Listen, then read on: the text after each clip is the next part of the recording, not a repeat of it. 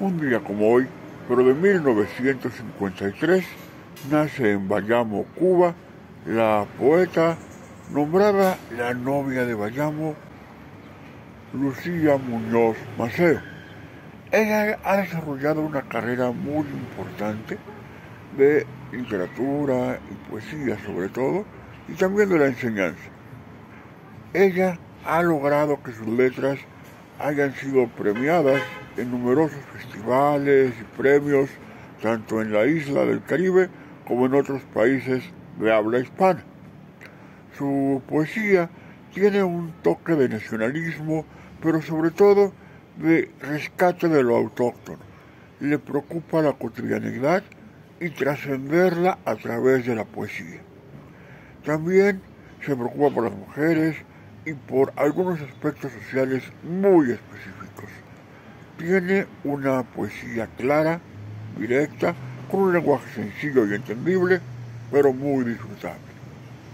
La novia del Bayamo es, además, parte de una familia históricamente importante en las artes cubanas, porque su tatarabuelo es nada más y nada menos que el compositor de la música de la Bayamesa, que es la pieza que se ostenta como himno nacional cubano.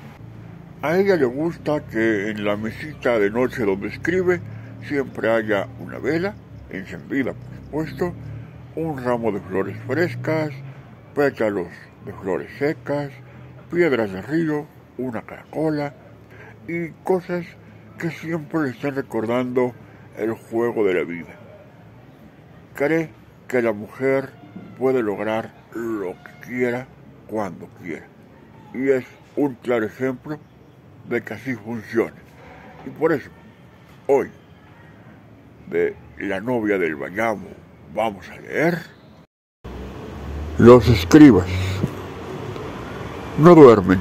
En el silencio de la noche cincelan palabras, entre el frío lunar y el crepitar de velas hunden una y otra vez la pluma en el tintero que húmeda pasa sobre la palidez de la hoja y deja un trazo largo con la historia del día, de la noche, del amor y la muerte. No hay ley que incline sus deseos.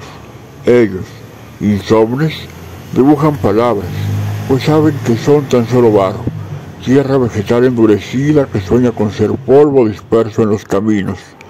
Por eso la cincelan en la albura de la página y su abismo. Ellos, los fieles, los reales, en medio de la noche y de los siglos.